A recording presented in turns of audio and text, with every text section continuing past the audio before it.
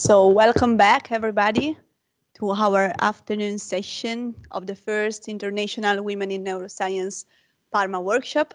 We hope that you enjoy your break and your lunch because we are going in a very challenging session um, about the damage self. So if this morning we talk about how the sense of touch, uh, together with other modality, is a crucial uh, sense able to um, construct and develops our implicit sense of self. This afternoon, we are going to see what happens when this implicit sense of self is destroyed, damaged, or altered. And we will do that thanks to Dr. Francesca Ferri, uh, looking at what happened in schizophrenia. We will also see what happened uh, and the role between uh, anorexia nervosa and uh, the affective touch, thanks to Dr. Uh, Laura Crucianelli, and uh, uh, what happened to our body ownership, peripersonal space, and even multisensory integration in the dissociative subtype of PTSD, thanks to Dr. Daniela Rabellino. That's for the psychiatric side. Uh, we will also have a look on the neurological side, thanks to Dr. Francesca uh, Frassinetti and their work in uh, right brain damage patients.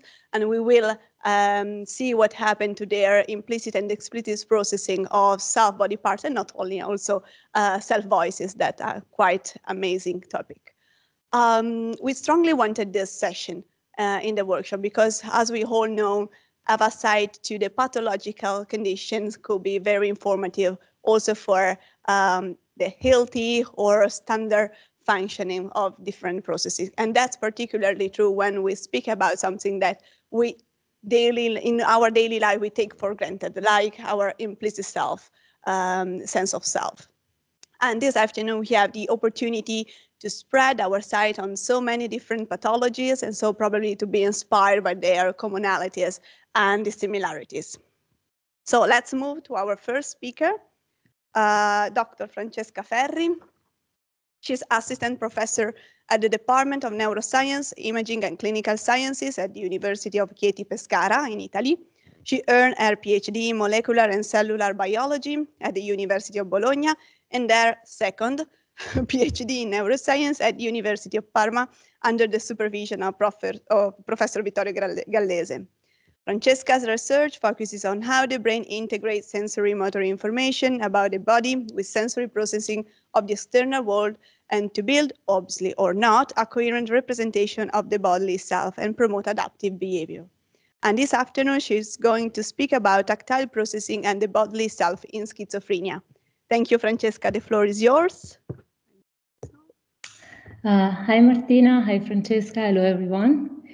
Uh, thanks for uh, organizing this uh, amazing event, and thanks for uh, uh, inviting me to uh, uh, talk about uh, schizophrenia and the sense of touch in schizophrenia. I'm trying to share my slides. it seems I'm not succeeding in that. So let's try to share the screen. It works. And then I'm trying to open your presentation. Open my presentation. So Okay, we see your slides. Perfect. Can you see my presentation? Yep. Okay, great. Okay, so uh, I will talk about tactile processing and the bodily self in uh, uh, schizophrenia. Uh, schizophrenia is a, a psychiatric condition Uh, uh, that is characterized by a change in the subjective experience of the self.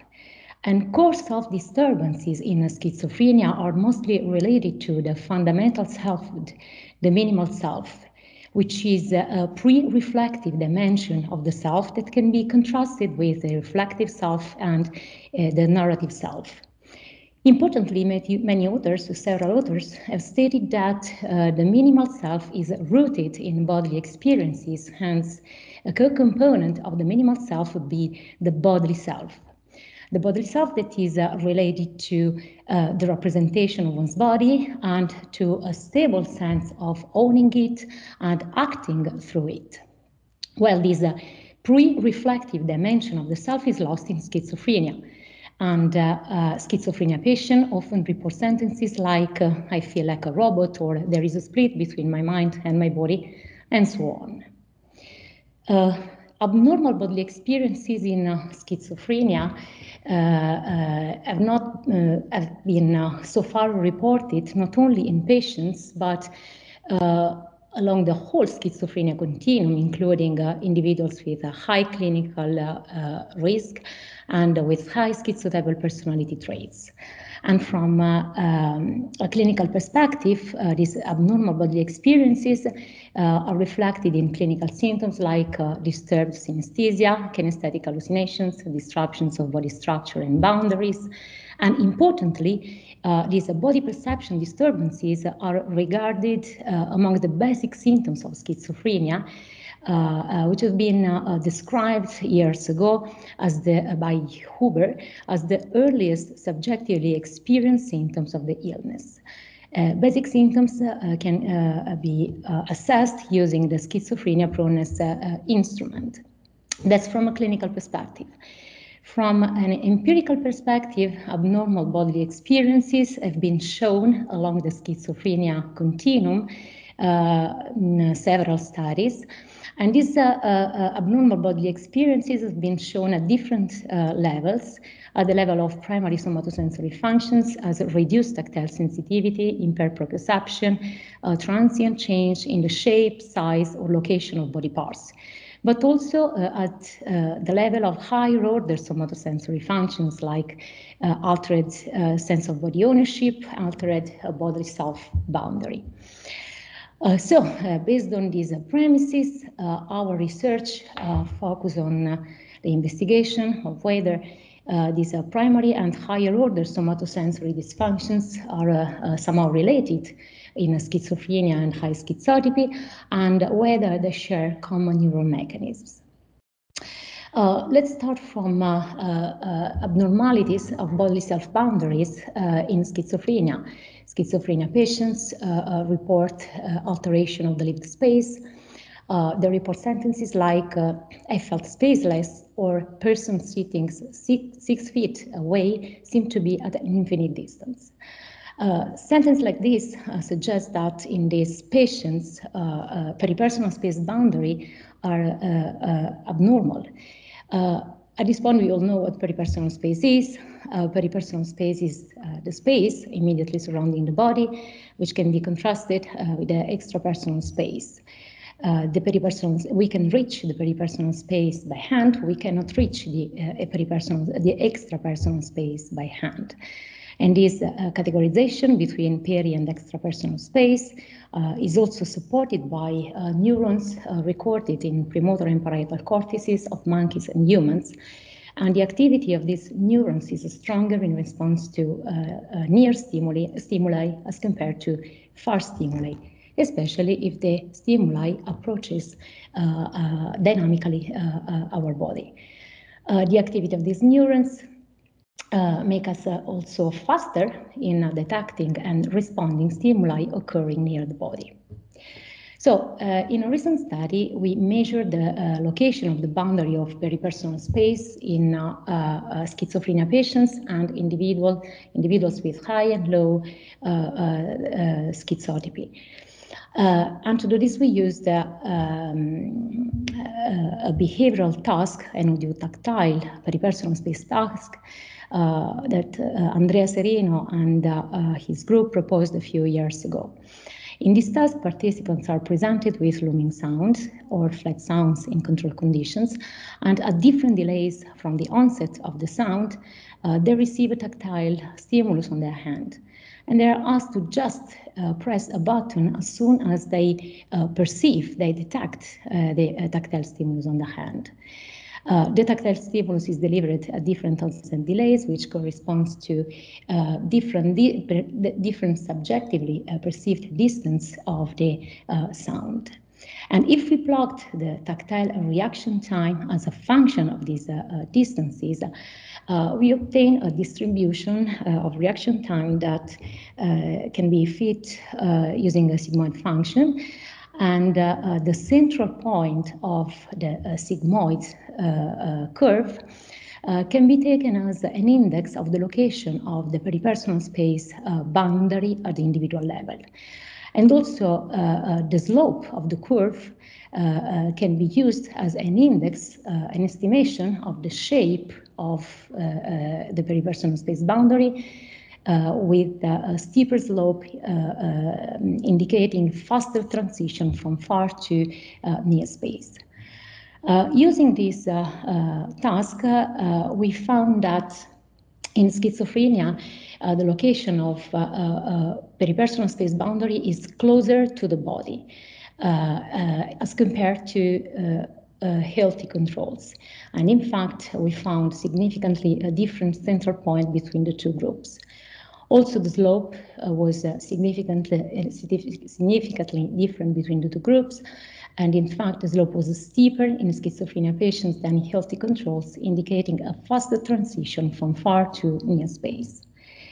Uh, similar results was found also uh, uh, in high schizotypy individuals uh, as compared to low schizotypy individuals.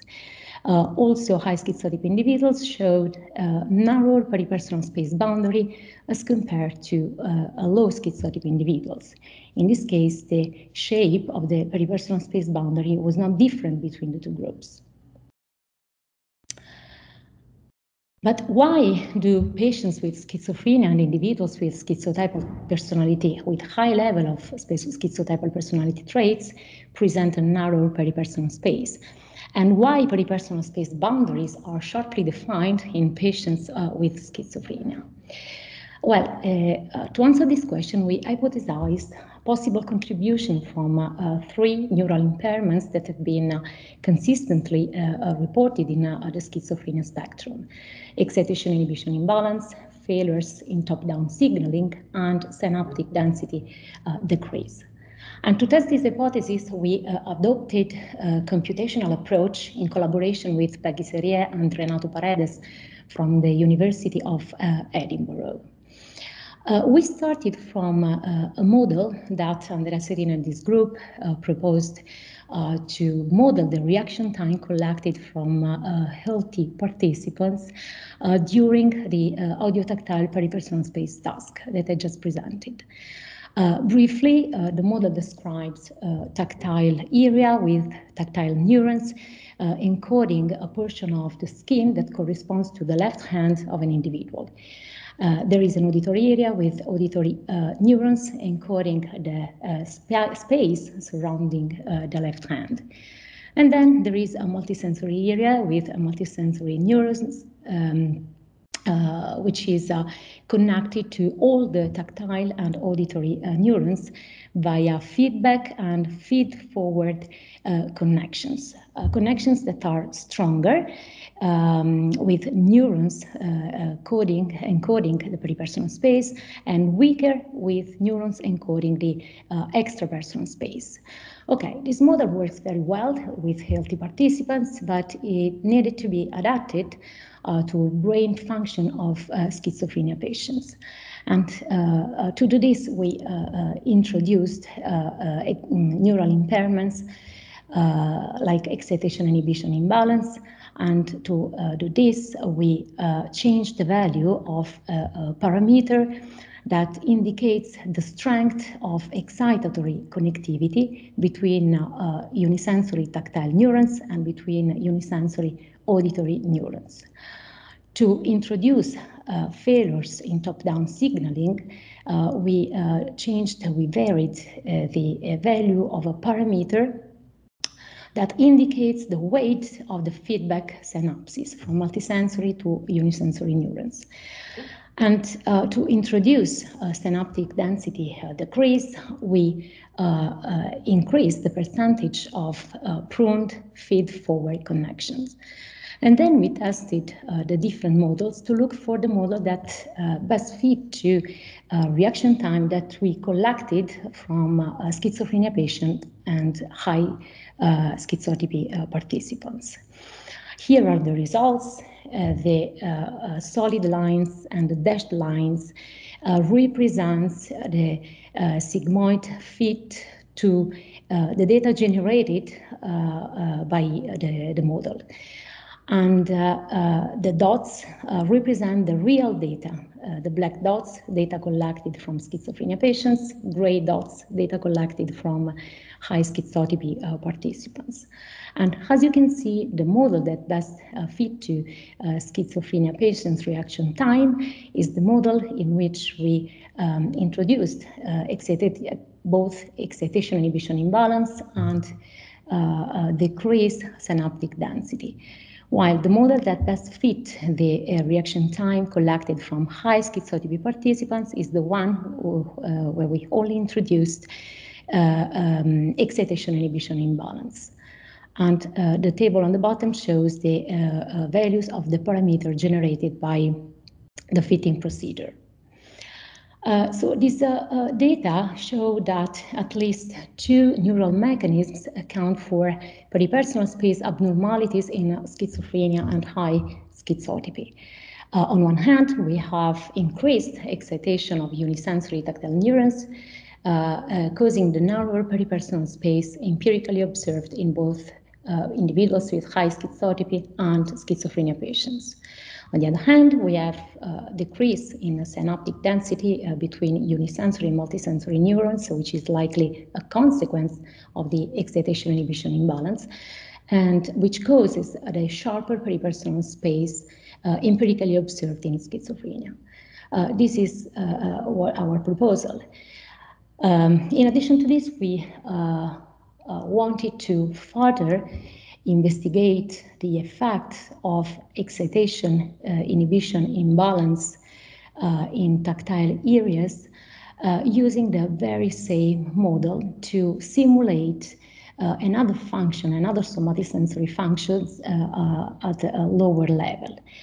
Um, so we use the model to simulate the uh, administration of uh, uh, two uh, tactile stimuli on the left hand, two tactile stimuli separated by uh, two centimeters. Uh, in the figure of the top, the gray scale represented the firing rate of the neurons that encode a given coordinate of the tactile area. And as you can see in schizophrenia, there is a, a larger spread of the activity of the, uh, uh, of, uh, the stimulated uh, neurons uh, as compared to what we observe in healthy controls. And this um, spread of the activity leads to uh, uh, an overlapping of the representation of the two stimuli in the cortical space, as shown on the bottom, uh, which uh, consequently uh, causes a higher discrimination threshold. So based on this simulated, based on this simulation, uh, we can uh, um, suggest that uh, reduced tactile discrimination that has, be, that has been uh, um, consistently reported for the schizophrenia continuum uh, could be accounted for by increased recurrent excitation in uh, tactile neurons. So uh, this uh, excitation inhibition imbalance in uh, tactile areas seem to contribute to both primary and higher order somatosensory functions. Okay, so uh, uh, as for the, the first question, uh, it seems that yes, um, primary and higher order somatosensory functions share common dysfunctions, neural dysfunctions. Um, but the uh, the point now is: uh, uh, is there a direct interaction between impaired primary and higher order somatosensory functions, and more specifically, uh, is there an association between impaired tactile sensitivity and uh, higher order bodily self uh, disturbances? Well, to answer this question, uh, we asked uh, uh, the, a group of schizophrenia patients to perform two tasks. A finger localization task assessing primary somatosensory function and the rubber hand illusion task, which is useful to assess uh, higher order somatosensory functions such as the sense of body ownership. In the finger localization task, uh, schizophrenia patients uh, and healthy controls were asked to localize, to identify uh, the uh, uh, touched finger that could see. In a second condition, they were asked to identify the unseen touched uh, um, uh, finger. And in a third condition, in a third condition, they were asked to identify uh, a pair of um, stimulated fingers. also, in this case, the stimulated fingers were hidden from the participants' view.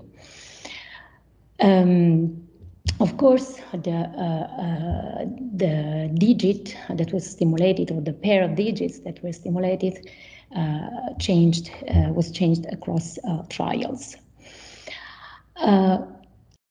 okay, we find we found that schizophrenia patients were um, less accurate than healthy controls only in the, uh, the third uh, most complex uh, condition. And this is good because it suggests that it tells us that the lower ac accuracy uh, was not just due to um, impaired tactile sensitivity, uh, which would affect all the three uh, conditions. And we also find that this uh, uh, lower uh, accuracy was associated to higher um, scores at the basic symptoms scale, the schizophrenia proneness instrument.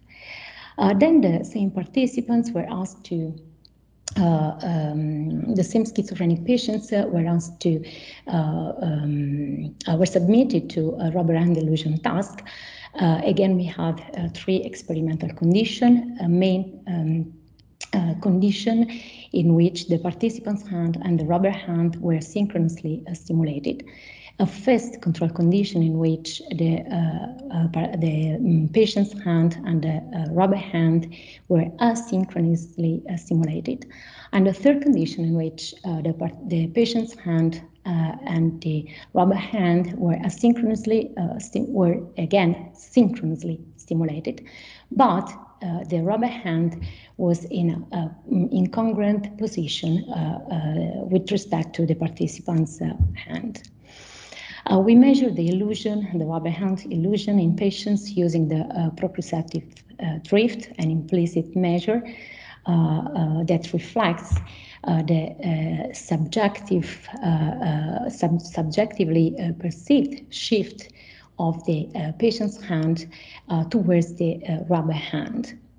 And we found that the rubber hand illusion uh, was significantly perceived uh, by uh, schizophrenia patients in the main condition, but not in the two controlled conditions. And finally, uh, we tested the association between uh, rubber hand illusion uh, index and accuracy at the finger localization task. And we found that patients with lower accuracy at the finger localization task uh, showed also a higher proneness uh, to uh, the rubber hand illusion. to sum up, primary somatosensory impairments seem to be linked to uh, basic symptoms uh, and also to uh, higher order uh, somatosensory dysfunction like proneness to body illusion, the rubber hand illusion. And these results support the idea that primary somatosensory impairments may represent risk markers and contribute to more complex bodily self-disturbances, uh, such as malleable body uh, image and reduced sense of body ownership. Okay. But if uh, it's true that somatosensory impairments uh, uh, can represent risk markers, uh, they should be present also in individuals with high schizotypy, uh, in which, uh, in a study, we also showed signs of excitation inhibition imbalance. So the question is, are these mm, primary somatosensory dysfunction present also in schizotypy, high schizotypy? Uh, so we asked uh, uh, participants with high schizotypy levels and low schizotypy levels to, to um, uh, perform the uh, finger localization task. And also in this case, we found a lower accuracy in individuals with high uh, levels as compared to participants with low uh, levels. And uh, uh, their performance was also more variable as shown in the confusion matrix mm, on the bottom. where um, it is uh, uh, shown that uh, the kind of error committed by high schizotype individuals was more variable as compared to low schizotype individuals.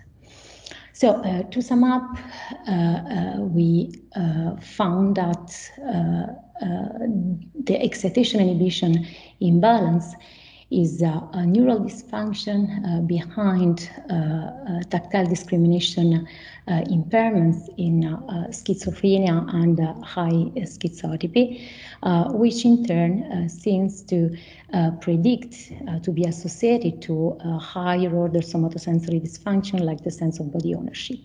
And this excitation inhibition imbalance seems to be also behind uh, um, the uh, disturbances in uh, the sense of body, body ownership, in, sorry, um, the bodily self boundary, Uh, as we shown in the peripersonal space uh, uh, task.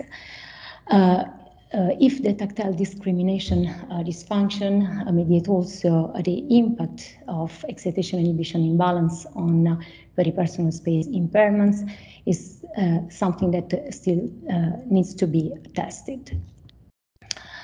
In conclusion, uh, we propose that uh, abnormalities in uh, various dimensions of corporeality and bodily self are common features in the schizophrenia continuum since their very early stages. And we think that etiological features of schizophrenia spectrum disorders may be better understood by further explicating their shared bodily roots. Uh, we suggest that agents with an impaired understanding of the structure of their bodies may be more malleable to adopting faulty models of their body's spatial mapping and location. And finally, uh, the lack of a coherent understanding of oneself as a structural entity in the world, uh, uh according to us, can be uh, associated with deficits in the minimal self. I want to thank all the uh, uh, colleagues and the co-authors of the studies I presented from the University of Chieti Pescara, the University of Essex, the University of Edinburgh, the University of Padua, and last but not least, uh, Professor Vittorio Gallese uh, from the University of Parma, with whom this journey into the uh, bodily self in schizophrenia started uh, a few years ago when I was a PhD student in his lab.